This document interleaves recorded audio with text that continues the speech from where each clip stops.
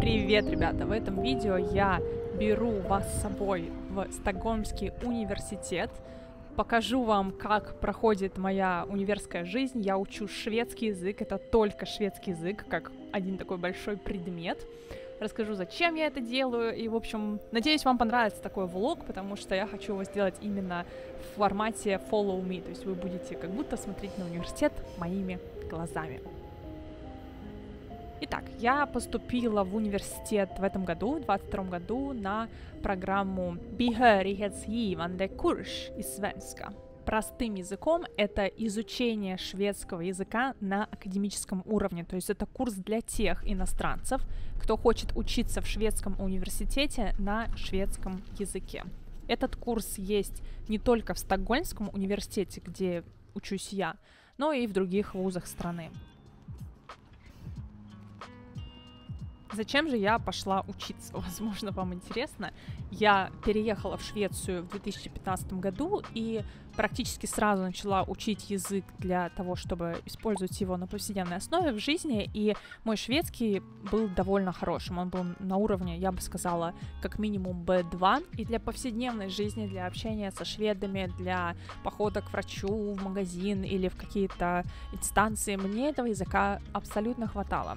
Но для того, чтобы развивать свою карьеру, я чувствовала, что мой уровень довольно-таки простой, и для обывателя, знаете. То есть я хотела, чтобы мой шведский звучал прямо очень профессионально и круто, потому что возможностей для работы на шведском языке, конечно же, в стране гораздо больше, чем возможности работы на английском. И я стала искать возможности для того, чтобы в первую очередь улучшить свой словарный запас, во-вторых, начать говорить увереннее, и в-третьих, потянуть свое произношение. Это были мои такие три ключевые цели, и я думала, что когда вот эти три пункта у меня будут выполнены, то я на, на работе буду себя увереннее чувствовать в разговоре. Поэтому к концу этого видео я вам расскажу, что из этого у меня получилось э, подтянуть, а что не очень. Итак, что нужно для того, чтобы поступить на именно на этот курс? Я сразу скажу, что внизу в описании будет ссылка на тот курс, э, на котором учусь я, но эм, нужно было сдать вступительный экзамен из чтения и письма, он длился, по-моему, два или три часа. Я оканчивала гимназию в Эстонии, поэтому у меня был документ, и также необходимо было уже знать шведский язык на определенном уровне. У меня был законченный SFI и COMVOX, те, кто живут в Швеции, знают, что это такое. Если вы в Швеции не живете, то у вас должен быть шведский шведский, ну, наверное, на уровне B2. У нас, например, была одна девочка, которая из Италии специально приехала учиться именно на этот курс.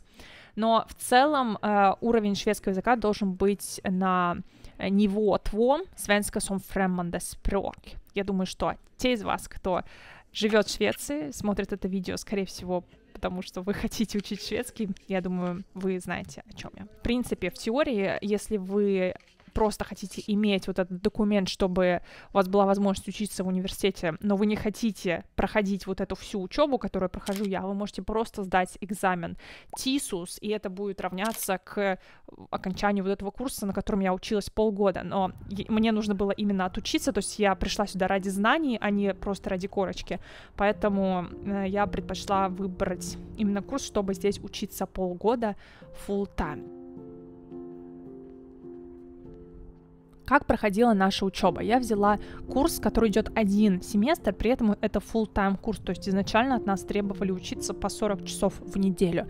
Есть альтернативный вариант, курс по вечерам, несколько раз в неделю, тогда учиться нужно два семестра, потому что учеба идет медленнее. И я начинала учиться в январе еще в Зуме, у нас были ковидные ограничения, и с середины марта нас уже позвали учиться в кампус, где по сей день, на момент съемки этого видео, у нас проходят уроки. Вы, кстати, наверное, заметили, что снимаю я весной, и все еще только начинает свести. Это был май или апрель. Мне было очень сложно сфокусироваться на учебе в первые месяцы, в январе и феврале, потому что было очень холодно. Очень классно сейчас гулять именно весной, когда уже потеплее и можно на переменах выйти, размяться, подышать свежим воздухом, потому что дома, когда ты учишься, я привыкла проветривать постоянно Тут э, у нас вентиляция в классах, мы не проветриваем, и поэтому свежего воздуха не хватает. Но очень интересно заодно поизучать местные местные территории.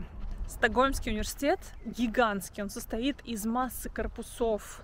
И вот здесь прямо такой целый студенческий городок, в котором очень легко потеряться. Я, честно говоря, вообще, когда в первый раз сюда шла, я еще и шла на экзамен, и у меня было больше страха не из-за экзамена, а из-за того, что я просто опоздаю на экзамен, потому что не найду свое здание и свою, свой класс. И для меня немножко было странно сначала приходить в университет, потому что вокруг очень много молодых ребят, студентов, 20-летних, которые только учатся там свои первые годы на бакалавриате. И я, конечно же, наверное, впервые в жизни себя почувствовала такой старше, старше остальных. Но потом это чувство прошло, и я на самом деле очень втянулась во всю эту университетскую жизнь, мне даже прям понравилось учиться. Пока что я точно хотела бы завязать с учебой в университете на какие-то ближайшие годы, этого было вполне достаточно, вот этого опыта полугодового. Было очень здорово свой мозг заставить работать, особенно когда вокруг очень много плохих новостей. Шведский был реально спасением для меня. И, конечно же, машина решила проехаться прямо здесь. Давай уже, друг мой. И еще один. Я даже делала эфир прямой в Инстаграме и рассказывала для тех, кто был либо из-за войны вынужден бежать в другую страну и там как-то приспосабливаться и немножко учить язык, либо те, кто по политическим причинам э, были вынуждены эмигрировать в другую страну, им тоже был нужен какой-то язык. Я делилась там более детально э, своими какими-то наблюдениями о том, как наиболее эффективно э, учить язык такие более сжатые сроки. Так что вот оставлю вам ссылку на этот прямой эфир в Инстаграме, если вам будет а, эта тема актуальна. Кстати, если вы вообще, в принципе, любой язык учите, мне кажется, что в, этом эфире было очень много классных таких рекомендаций и идей для вас, вне зависимости от того, какая у вас цель изучения языка и сколько времени у вас есть на это странно ли учиться после 30 лет в университете среди молодых студентов? Нужно понимать, что учеба, любая учеба, в моем случае изучение языка, это прежде всего инструмент для улучшения качества жизни и карьерных возможностей. Поэтому, если вам кажется, что это странно учиться во взрослом возрасте, то посмотрите мое прошлое видео. Vet ni vad, en gång vill jag gå på, vad heter botanisk En som ligger här. Nej, inte plantagen utan Botanical Garden liksom, som ligger här i 20 minuters promenad. Men jag tänkte... Ja, just det, bredvid plantagen. Just det, vad heter den? Ja, jag har varit där. Jättefint. Vänta, det är... Va? Nej. Ja, det är Vi pratar om... Om du, om du, det finns en som är typ eh, här verkligen. Är, det finns plantagen och sen butiker och sen bakom det finns en jättestor typ trädgård med sorter och... Ja, men jag tänkte att den het, heter... eh, Vet, eh, ska vi sitta här? Oj, vänta, vänta. Uff, ja. Då kan jag bara 28 kilometer, det känns tomt. Bergianska trädgården heter den. Men är det inte så det finns en också här någonstans? Alltså, nu säger jag här, jag vet inte precis vad det är. Men jag tror det är där. Som är jättenära... Jättenära plantagen. Ja, nej, jag visste faktiskt inte att det finns plantagen just här. Ja, jättestor. Äh, jättestor, vet inte. Ganska stor. Vid universitetet. Здесь есть такой э, уличный спортзал небольшой, где можно заниматься. Здесь э, какие-то штучки продаются, бургеры, какая-то еда. Классно, что уже можно на улице сидеть и на свежем воздухе обедать. Так, мы, наверное, пройдем здесь. Еще я заметила во время этого курса, какие у меня изменения произошли в отношении к учебе и к некоторым учителям. Я была немножко нетерпима в начале учебы. Мне кажется, еще и потому, что тоже какой-то стрессовый вообще был период, и январь, и февраль, не говоря уже про конец февраля и март. И я немножко так стрессовала на уроках, могла немножко дерзить даже учителям, как-то резко отвечать. И очень рада, что к концу, к концу курсов я уже как-то угомонилась, полюбила очень, на самом деле, всех учителей наших, у каждого чему-то научилась. Это было очень полезно для меня, как для личности. Яблони тут вовсю цветут. И смотрите, какой тут есть особняк. Вообще потрясающе. Я, честно говоря, никогда не училась в таком университете крутом, где есть вилла, где вообще вот такая огромная территория, все так красиво.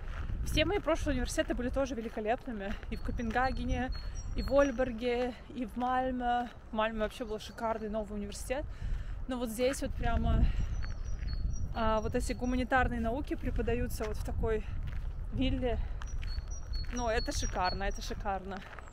Несмотря на то, что от нас требовалось выделять 40 часов в неделю на учебу, я училась, конечно же, гораздо меньше.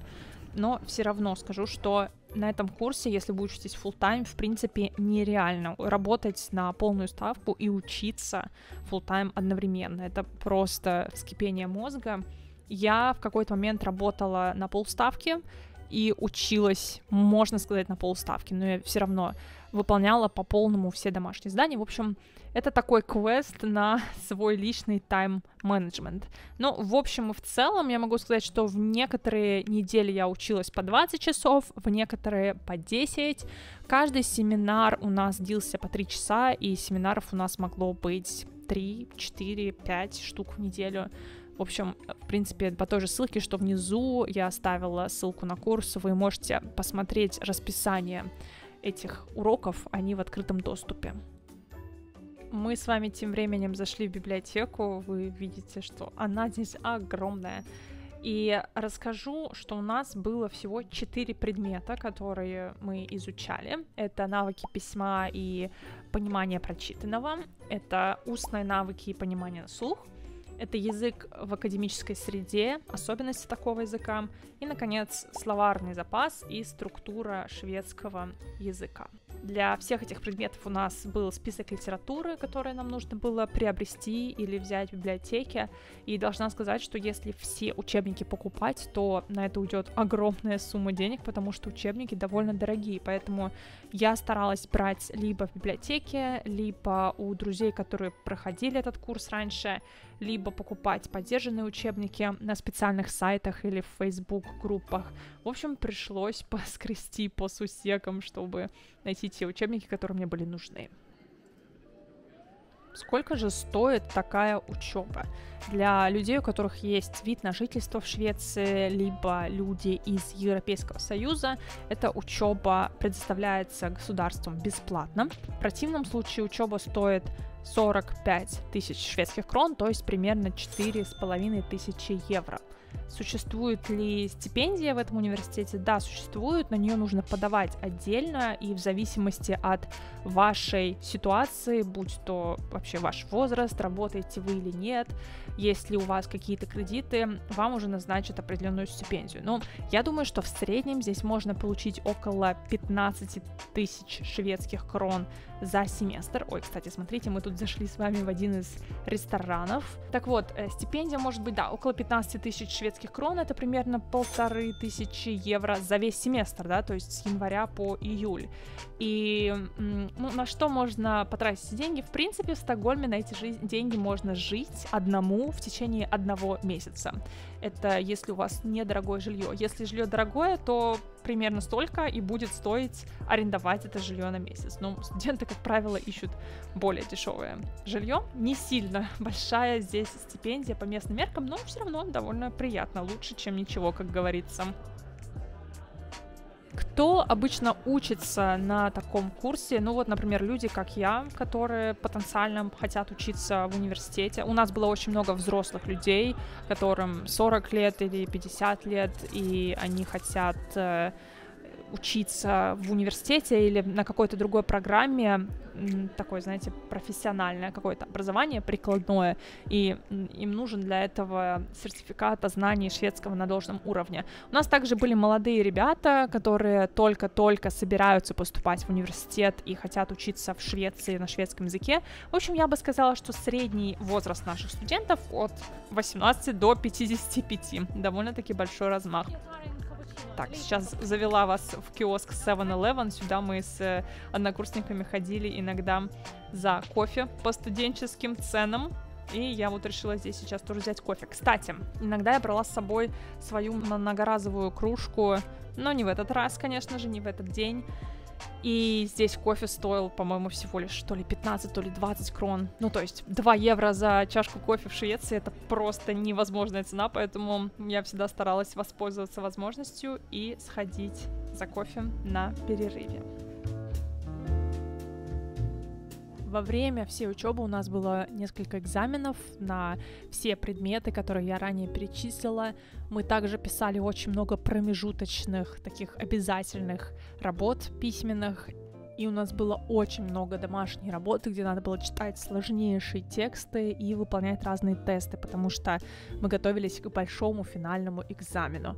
Этот финальный экзамен длился 4 часа, и, наверное, это был самый сложный экзамен в моей жизни. А вы, ребята, поверьте мне, я сдавала тысячу экзаменов на разных языках в разных странах мира. И вот так вот я готовилась к этому экзамену и в кафешках, и дома, просто вычитывала тексты и набивала руку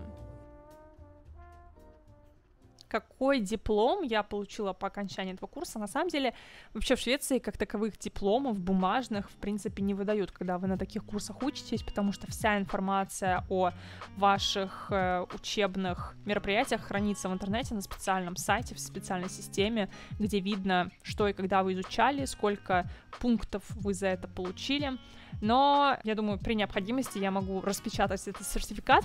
Но в целом, да, теперь у меня есть просто виртуальный такой документ о том, что я могу поступать в ВУЗ. Кстати, на самом деле, это действительно очень классно иметь вот эту свободу и знать, что я теперь в любой момент жизни могу учиться в ВУЗе на шведском языке. Я на самом деле очень этому рада. И я вам обещала рассказать вообще, какое у меня результат этого курса, насколько у меня есть какие-то успехи, изменилось ли мое произношение, но на самом деле вот произношение это единственная вещь, которую я практически не отполировала именно на этом курсе, потому что оказалось, что над произношением у нас здесь нету не было цели работать, э, так что пришлось потом отдельно уже после этой учебы полировать свое произношение. Но я однозначно улучшила свой словарный запас, прямо у меня был космический прорыв, и я вообще стала гораздо увереннее говорить на шведском. На самом деле, мои друзья шведы, когда со мной встретились уже вот после этого курса, и мы не виделись с ними несколько месяцев, они прям были в шоке, насколько большой рывок я проделала, и все, в общем, меня очень сильно хвалили, так что я считаю, что цель своего курса я достигла, и на работе я тоже теперь стараюсь говорить по-шведски всегда, как только можно, потому что действительно чувствую себя уверенно, и понятно, что я не говорю супер свободно, как местный человек. Я вообще считаю, что иностранный язык ты учишь всю жизнь. Знаете, есть люди, которые вообще родной язык не очень-то хорошо знают и нехорошо им владеют. Что уже говорить об иностранном.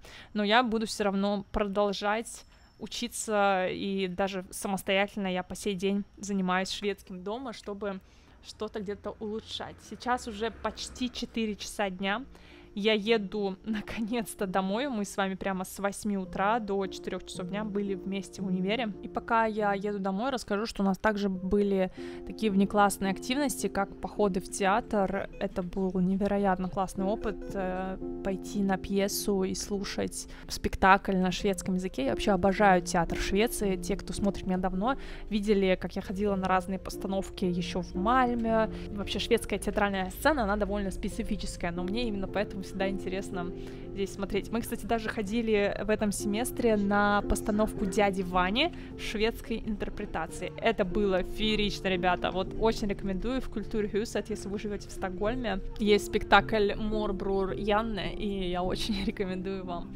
на него сходить. должна еще добавить для тех, кто не понял, почему я вообще просто на такой курс пошла учиться именно в университете. Объясню, что в Швеции, даже если ты сейчас не учишься в бакалавриате или на магистратуре, ты можешь все равно поступить на какой-то конкретный курс длиной, например, 6 недель или 12 недель или целый семестр и получать вот эти вот пункты ACTS и просто учиться со всеми остальными студентами, которые сейчас учатся даже, допустим, на магистратуре. Но вот этот курс, на котором я училась, он просто такой самостоятельный курс, он не принадлежит какой-либо программе, магистратуре или бакалавриату, и ты учишься именно конкретно шведскому языку. И мне кажется, это так круто, что ты можешь прокачать свой язык на вот таком вот государственном уровне, на государственной программе, абсолютно бесплатно в моем случае, и не воспользоваться такой возможностью, ну, не знаю, мне кажется, даже глупо.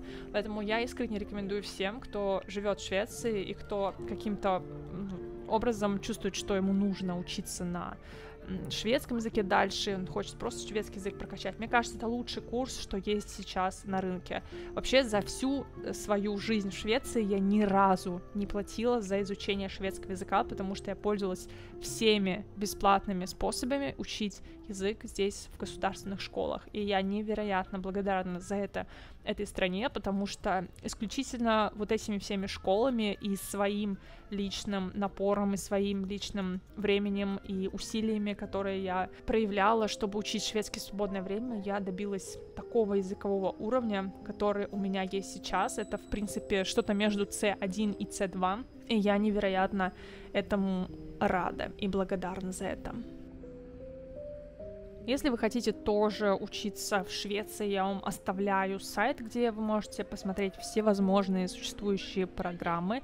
Если вы хотели бы послушать подробнее, как сейчас э, поступить в университет в Швеции из стран СНГ, напишите мне в комментариях, э, укажите также, какая программа вас интересует, бакалавриат, магистратура или докторантура, и я подумаю, что можно с этим сделать. Может быть, я могла бы найти ребят, которые дали бы мне интервью.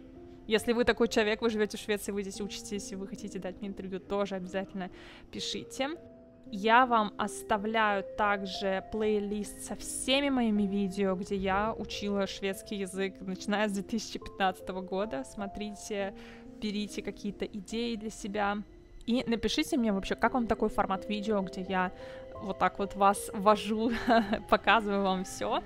Ну что, я поехала дальше по делам. Сейчас э, найду платформу, на которой мне нужно поймать поезд. И увидимся в следующем видео. Всем пока, хорошего дня.